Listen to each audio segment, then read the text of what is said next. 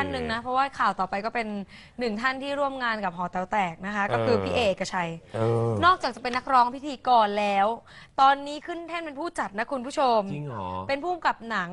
เรื่องเสิร์ชใช่ไหมเสิร์ชนะคะเสิร์ช ฟังดูยากนิดนึงนี่จะบอกว่าเทริดนี่คือเป็นเหมือนกับเอ่อหัวของมโนราอะไรประมาณเนี้ยนะคะ เป็นเรื่องเกี่ยวกับทางใต้นะ ซึ่งตอนนี้กำลังถ่ายทำกันอยู่ แต่ล่าสุดเกิดดราม่าขึ้นนิดหน่อยนี่เลย เพราะว่าพี่เอกพี่เอกเอกชัยไม่ชวนเพื่อนซีอย่างพี่ยิ่งยงยอดบัวงามมาเล่นเรื่องนี้ด้วย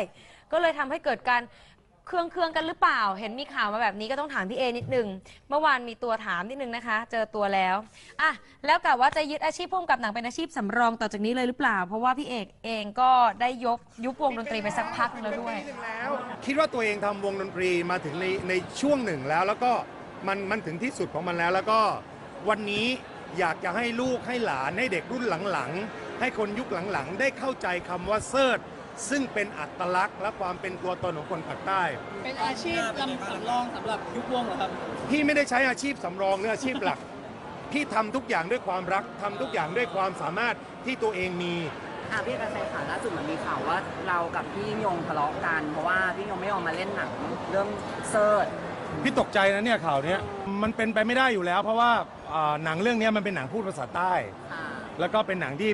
เป็นเรื่องของ ของของความเป็นพื้นเพของวัฒนธรรมภาคใต้ ค่ะ เพราะฉะนั้นเนี่ยคุณยิ่งยงเขาเขาพูดใต้ไม่ได้ แล้วก็ไม่มีไม่เป็นประเด็นที่มันจะเกิดขึ้นได้เลย ผมไม่กล้าทะเลาะกับนักร้องหน้าเหมือนงูเห่าหรอก